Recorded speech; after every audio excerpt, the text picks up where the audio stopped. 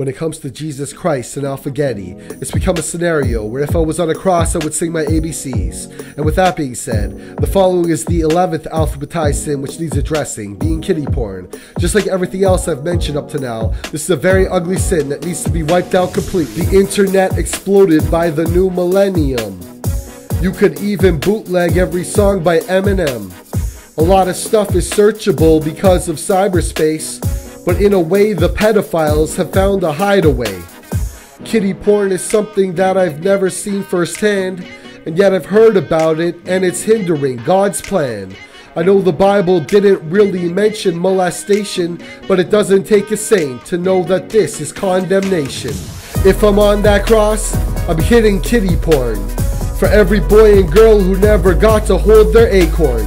It's safe to say we really need to unleash a reform Cause every unborn fetus needs to know we'll face this storm.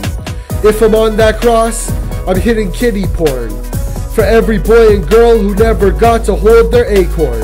It's safe to say we really need to unleash a reform. Cause every unborn fetus needs to know we'll face this storm.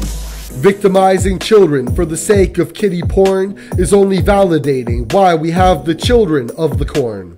Look at who we've scorned, the future of the world the little ones who look to adults for a good referral.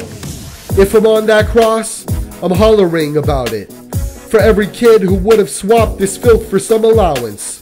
I'm frustrated with how there's those who became into it when you couldn't see that Lucifer has got his fingerprint.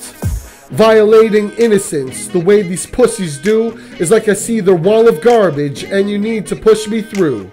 Kiddy porn is something that I'm adding to my list and will annihilate it once they hang me from this crucifix. If I'm on that cross, I'm hitting kiddy porn. For every boy and girl who never got to hold their acorn. It's safe to say we really need to unleash a reform. Cause every unborn fetus needs to know we'll face this storm. If I'm on that cross, I'm hitting kiddy porn. For every boy and girl who never got to hold their acorn. It's safe to say we really need to unleash a reform. Cause every unborn fetus needs to know we'll face this storm.